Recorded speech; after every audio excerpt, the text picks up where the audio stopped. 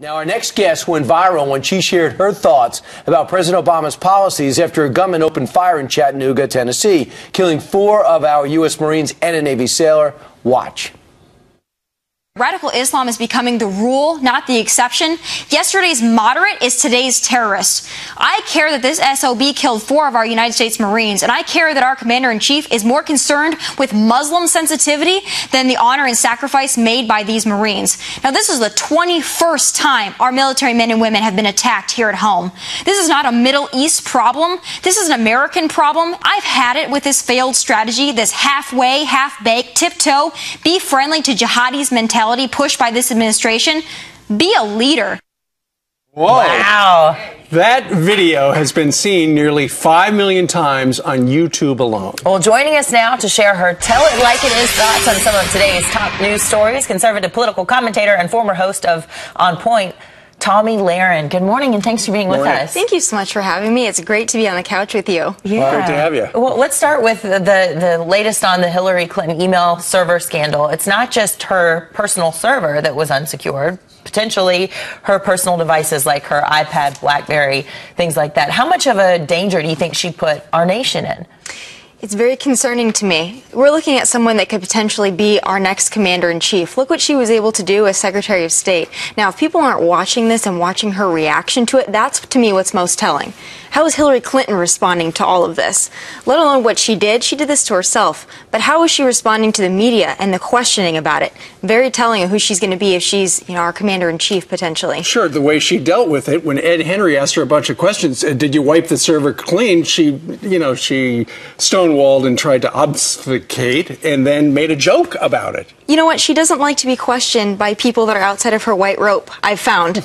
so it, she gets very combative. She doesn't like to answer questions. Excuse yeah. me, if you want to be my commander in chief, you're going to have to answer some questions. Does it show she thinks she's above the law? Of course it does. She thinks she's above all of us. She's not an everyday American. She talks about everyday Americans, but just watch her. That's all you have to do. Watch someone crash and burn.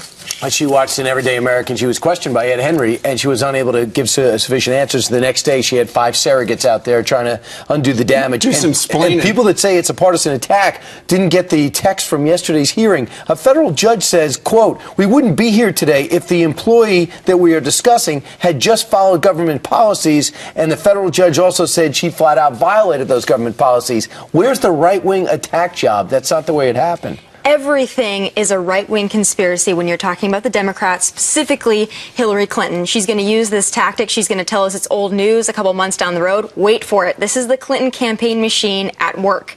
This is a liar.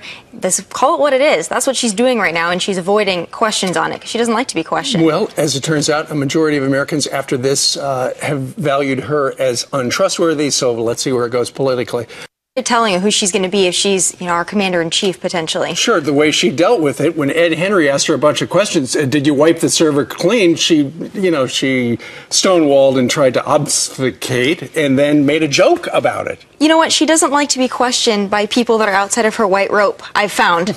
so it, she gets very combative. She doesn't like to answer questions. Excuse yeah. me, if you want to be my commander in chief, you're going to have to answer some questions. Does it show she thinks she's above the law? Of course it does. She thinks she's above all of us. She's not an everyday American. She she talks about everyday Americans, but just watch her. That's all you have to do. Watch someone crash and burn. This problem, this is an American problem. I've had it with this failed strategy, this halfway, half baked, tiptoe, be friendly to jihadis mentality pushed by this administration. Be a leader. Whoa. Wow.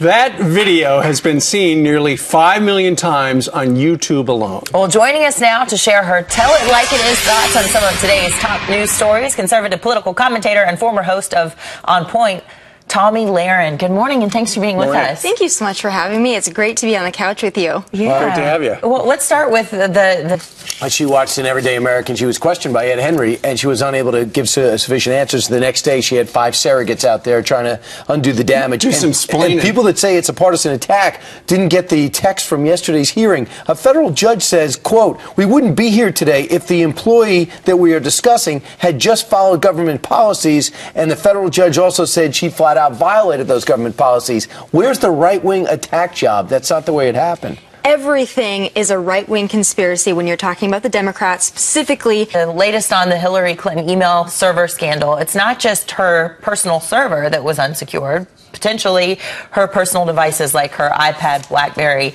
things like that. How much of a danger do you think she put our nation in?